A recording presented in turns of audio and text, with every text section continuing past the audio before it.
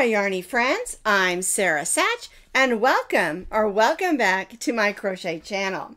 Today's video is our June Scrap Happy pattern, and that means we take yarns from our yarn stash that we have leftovers of, and we make a fun project.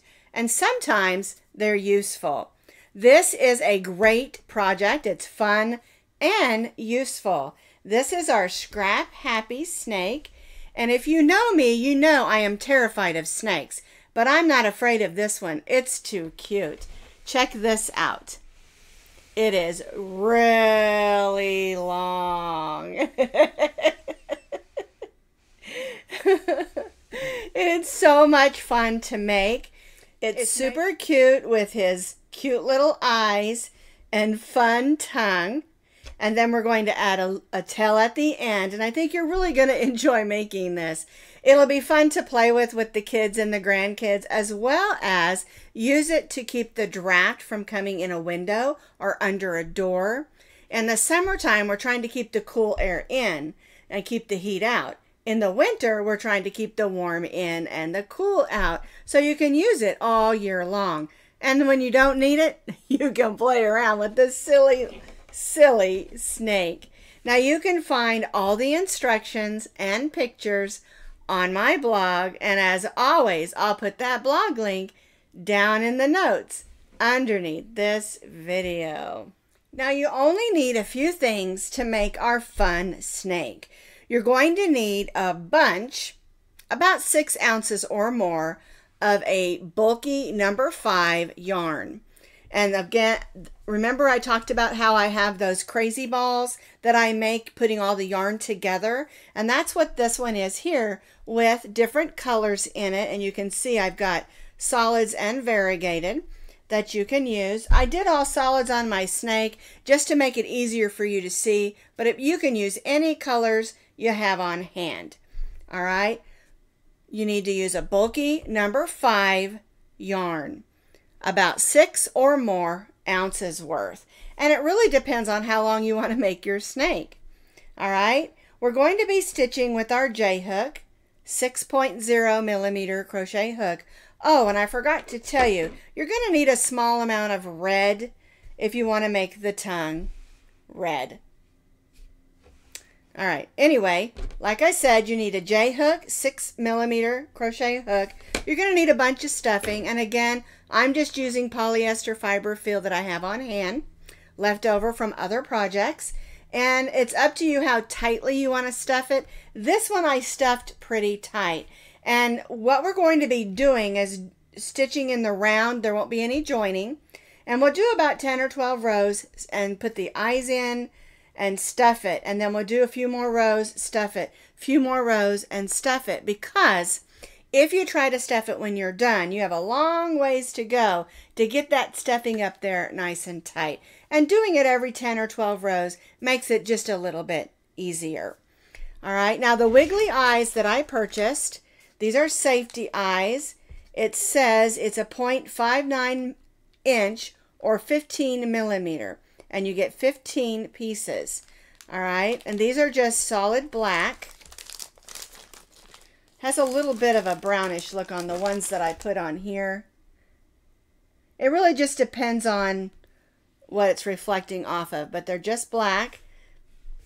Okay, and I use two of those. Now, if you're going to be making this for a small child that you're afraid might pull these out, you can always just use a black yarn or even a red or whatever color that you want to use and make French knot eyes with your bulky yarn.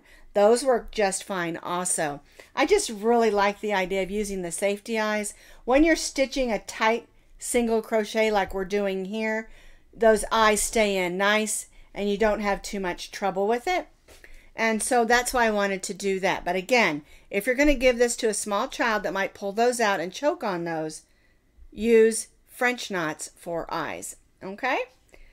Alrighty, so then we're going to need a needle for weaving in our ends and a pair of scissors. I'll talk to you also about how we're joining in the colors uh, when we switch colors and things like that as well. Um, that'll help you at not having to make big knots and things like that. the way that I'm going to show you that I like to do. All right, so let's gather up all our yarns that we're going to use and let's make a silly snake that's not scary at all. Another thing that you're going to need, I forgot to say in the materials, is you're going to need a stitch marker or something to mark your rounds because we're not joining, we're going to be stitching in the round. Okay, you can use a paper clip, a safety pin, um, just another color of yarn looped through, just some way to mark your rows so that you don't get off on your rows. All right, so we're going to begin with this gray. I'm using this for my demo. There's my slip knot, and we're going to chain two chains, one and two. Now we're going to stitch eight single crochets in the second chain from the hook. So we'll go in, pull up a loop, yarn over, and go through both loops. So there's one, two, three, four, five, move that tail out of the way, six, it's trying to get in the way again, seven, and eight. There we go. Now I'm going to take my stitch marker and I'm going to mark my last stitch. Okay, I'm going to pull my loop a little bit because I want you to see on the back, we're going to turn it over and we're going to go ahead and close up this hole. And it's important to do this first because it's going to be difficult to do it at the end because it'll hard to be hard to get your hand up inside. All right, so we're just going to go ahead and close up that hole that we made. Now, if you prefer to do the magic circle for your beginning, you certainly can. All righty, so I'm going to close that up so we don't have a hole because we're starting at the head of our snake. Alright, I'm just going to let that hang. I'm not going to worry about cutting it off. It'll be inside my snake. Alright, so for round one, we chain two and then stitched eight single crochets in the second chain from the hook and then we went ahead and closed up that hole in the center of our circle. Now for round two we're not going to join we're going to go right to that first single crochet and stitch two single crochets. One, two. then we'll stitch two in each of the next ones. So there's three, four, five, six, seven, eight, nine, ten, eleven, twelve. Whoops. 13, 14. Now we'll take out that last, or that stitch marker and stitch in our last stitch, 15 and 16 single crochets. Then we'll replace our stitch marker to mark our last stitch. And you may think you won't need it here, but it's real important to make sure you keep your stitch count right or your snake will end up not correct when we get to doing the long portion of it.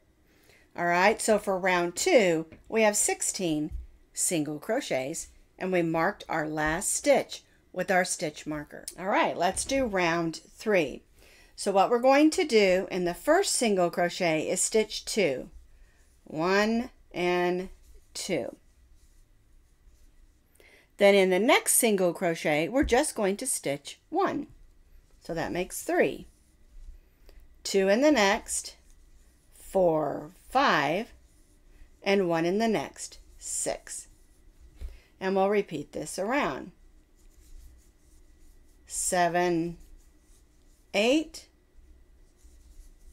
nine, ten, eleven, twelve, thirteen, fourteen. 15,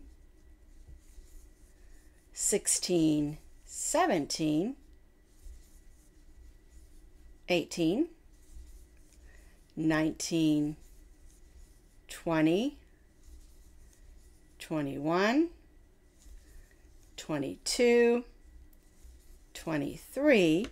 We'll take our stitch marker out and the last stitch is 24 single crochets and then we'll put our stitch marker back in.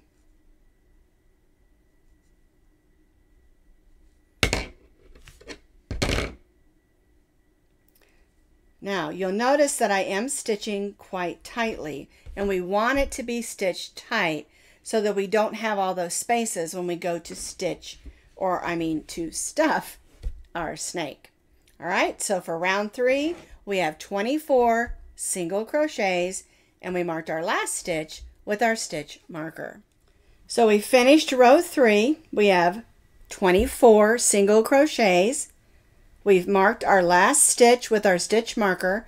And now what we're going to do for row four is just stitch one single crochet in each of those 24 single crochets. We're not going to be doing any more increasing. Now it's time to start forming the head of our snake. One single crochet in each of the single crochets around till we get back to our stitch marker. So now what we're going to do is we're going to repeat row 4 for 6 more rows and that's going to get us up to row 10. All right, so for the next 6 rows we're just going to repeat row 4. One single crochet in each of the single crochets around and then move our stitch marker up each row in the last stitch.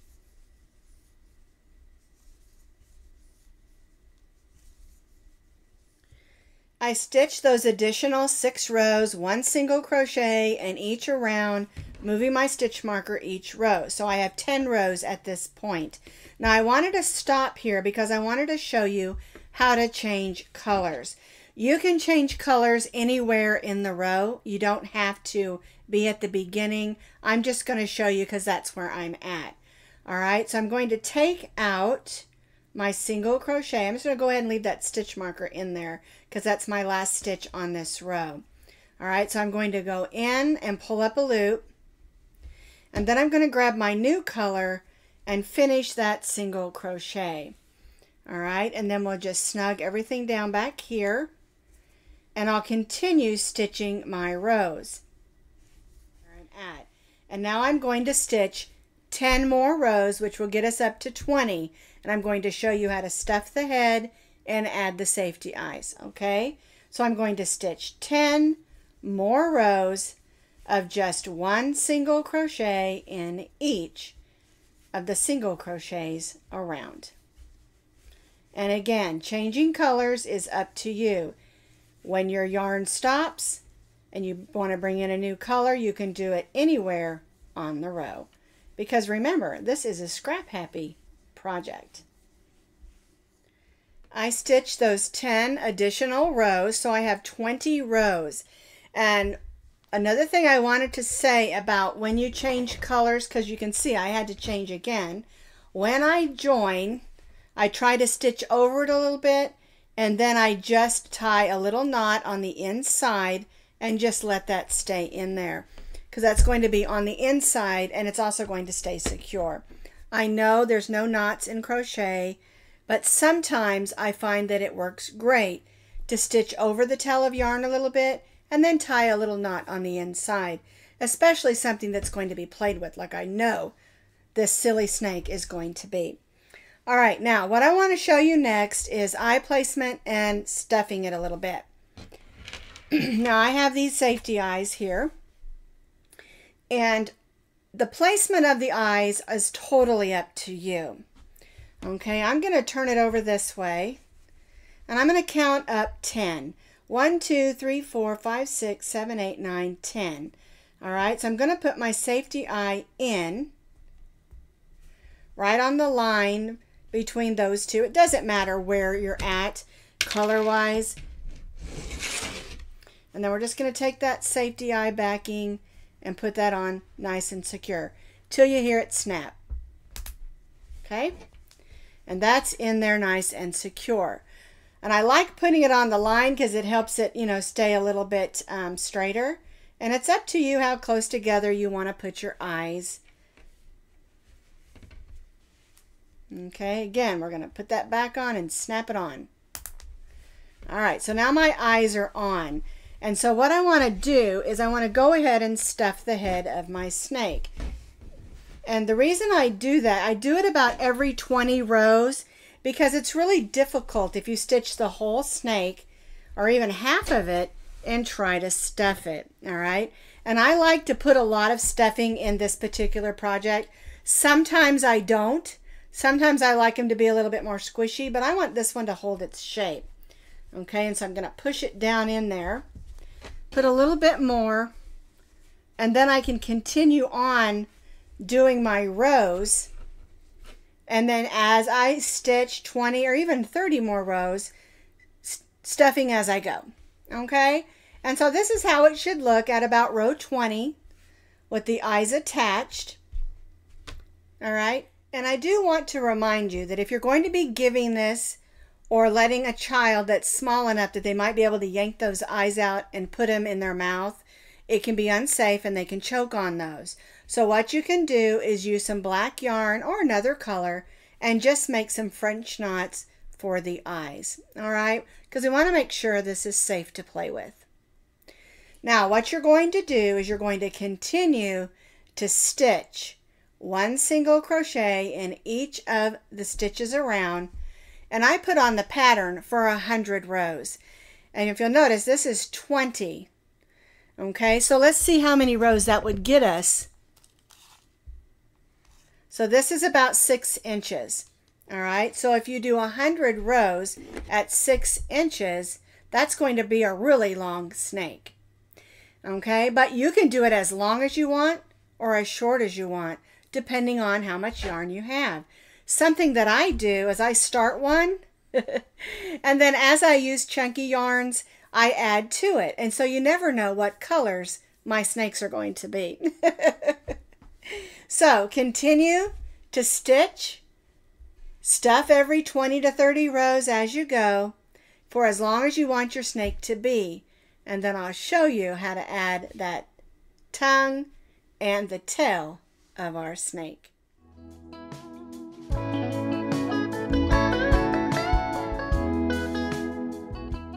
So here's my original Scrap Happy Snake that I'm working on. There's his eyes. I've already added the tongue to this one, but I'll show you on the demo how to add the tongue when we're done doing the tail.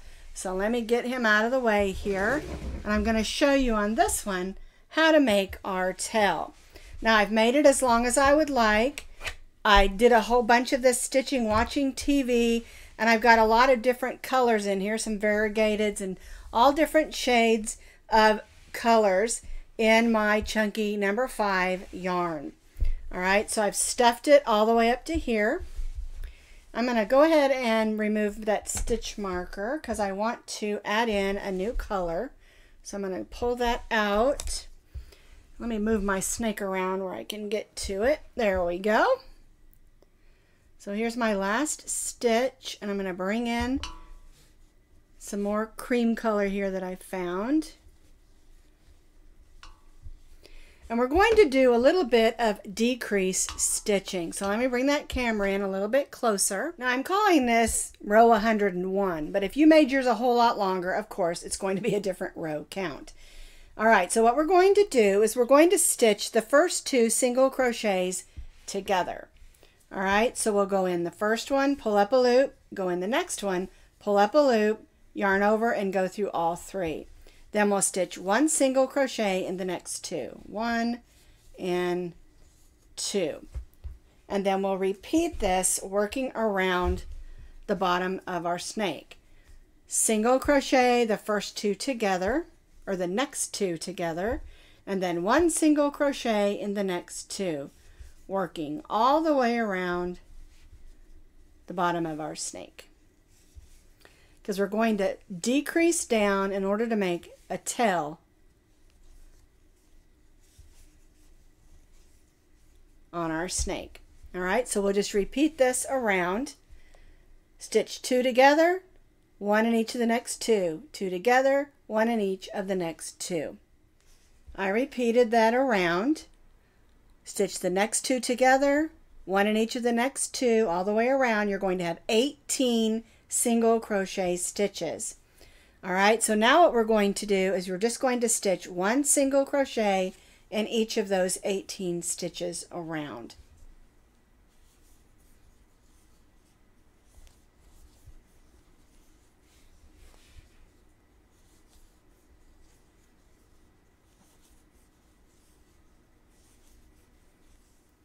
One single crochet in each of those 18 stitches around. I moved my stitch marker. And now what we're going to do is we're going to repeat this for two more rows.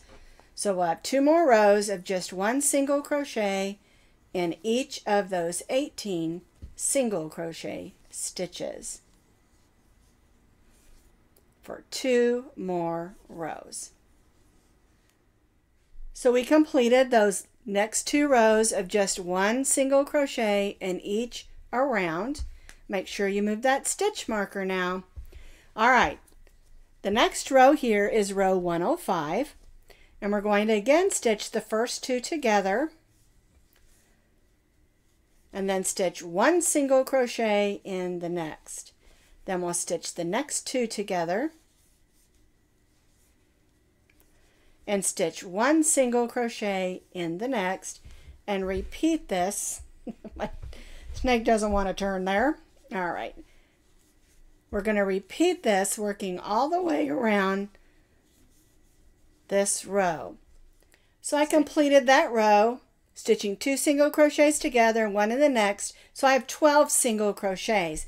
But before I go any farther, I want to go ahead and stuff as far down as I can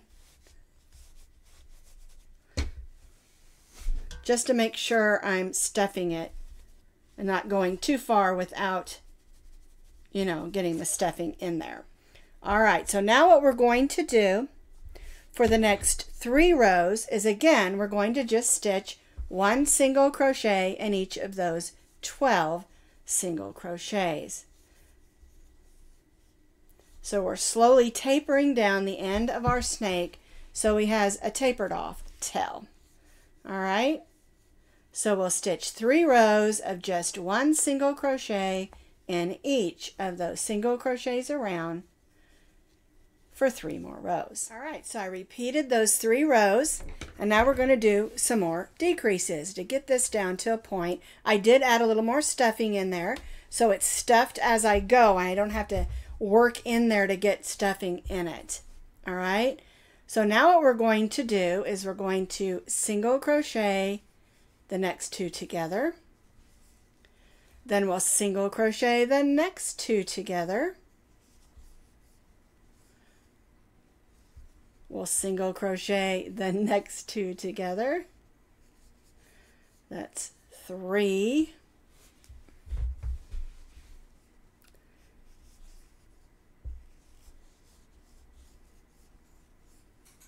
Four. Get this thing turned around here.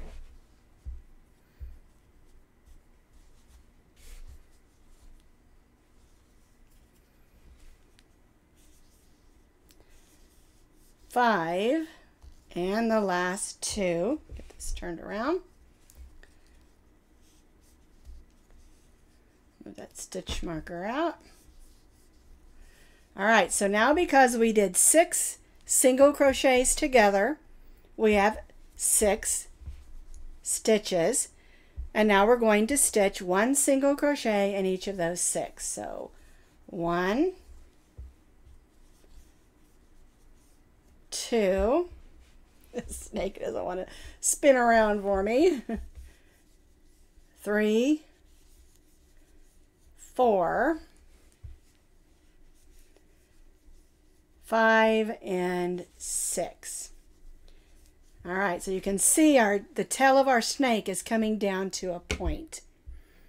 All right, now we're going to do We've got six stitches, right? One, two, three, four, five, six. So what we're going to do is we're going to stitch the first two together, the next two, one and two, and then the last two together. One and two. So we did three single crochets together. All right. Now we're going to cut our yarn and we're going to tie that off. And we'll use our needle to close that up. So make sure when you're down here where I added that extra stuffing that you added enough stuffing that you can work it up into the tail. All right, so now I'm going to use my needle and make sure that's closed up nice and securely. Now, the last thing we need to add is the tongue, and I'm just using this red yarn. This is a medium number four yarn. You can use a chunky yarn if you want. It doesn't matter, okay? So what we're going to do is make the tongue. We want to leave a little bit of yarn to attach it to the snake. So we'll start our slip knot up here a little bit, and we're going to chain 12. 1, 2, 3, 4, 5, 6, 7, 8, 9, 10, 11, 12. All right, now we're going to slip stitch in the second chain from the hook. And then slip stitch. There we go. In the next two. One two. Now we're going to chain four. One two three four. Slip stitch in the second and then the next two. And that makes the little forked portion of our tongue. Now we'll go right in that next single crochet, or that next chain, I'm sorry, right in the next chain, and then just slip stitch down the tongue.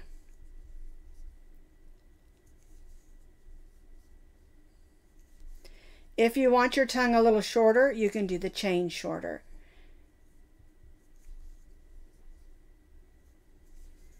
All right, so now I'm going to grab my scissors. I'm going to cut this a little bit long so I have some string to attach it to my snake and I'll tie this off. Okay, so that's our forked tongue. And we'll just take our needle,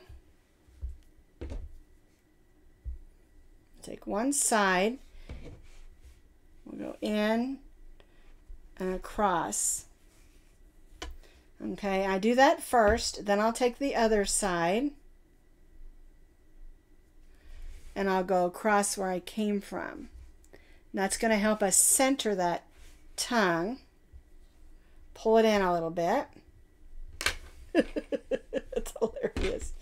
All right, and then I'll go in right here because I want it to be attached.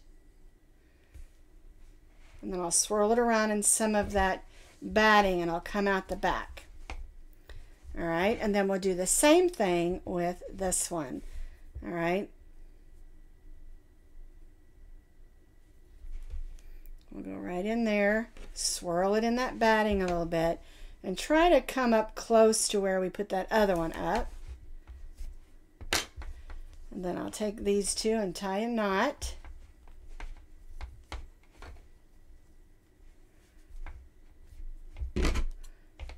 Clip that real close and then hide that in that stuffing. And now our snake has a cute forked tongue. so here's my snake. He's so cute. He's so cute. And it's a wonderful way to use up your scrap yarn and make a silly snake. And I know that my grandkids are going to get lots of use out of this because they know that I hate snakes. and they'll probably try to scare me with it all the time. so isn't that cute? I just love it. So cute.